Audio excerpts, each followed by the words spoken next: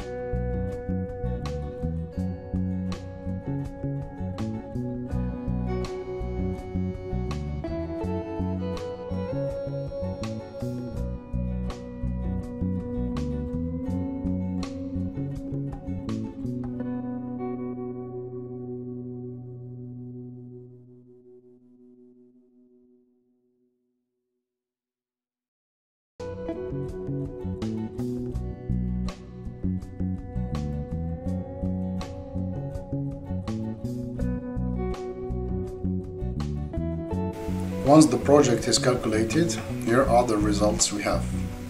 So the work the reference plane 2 is actually the working area and the value we have is 235 but we needed 300 the second one is the meeting area.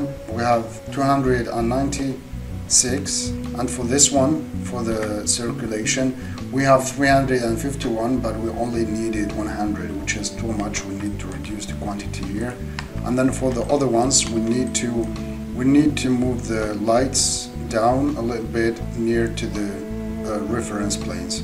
So field 1 we need to make them only two. Let's go to the quantity here. Let's make them only two like that. As for this one we need to move it further down. Oh I mean I'm moving this one. Or I can come to I mean to this Z here in the position and I can make it 1.8 for example. Same thing for this one. We can move it to um, 2.3 for example and then run the calculations again to see what I mean the, the, the results skip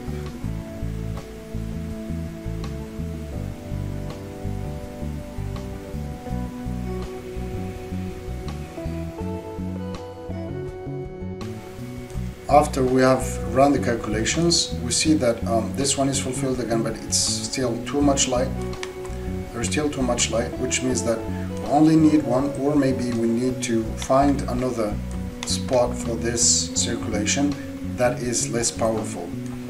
And then for here it doesn't show any color which means we need to go and uh, give them a profile actually. Let's go to the evaluation areas. Where are they here? We need to give them a profile actually. We need to go to nominal values profile let's select office office and then fill and copy in okay. Now it knows what it is and then the evaluation area too. I thought we've done this in the last video but then maybe I haven't saved it. So I will go to offices. We need the conference and meeting rooms and then enter. So this is our meeting room. We still need more light here so uh, maybe the solution for that is to change this light as well as like in this case I can move it for, further down. So I'll go to um, yeah I'll just click on it. Click on this um, luminaire. I will move it further down. Let's go to the Z here and make it 1.8 for example. No 1.8 1.8 then this one is now um, the standard is fulfilled as for this one we can go and change the I mean the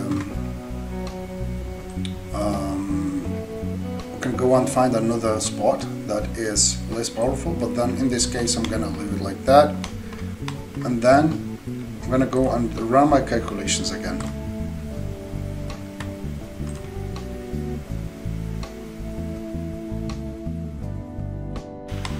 Now, like you can see it here in this result um, part, all the parts are well lit and all the standards and the standards are, um, I mean, fulfilled. I mean you can like for this one here there's a little bit too much light but then if the luminaire is dimmable then it's not a big deal. Alright that's it for this video.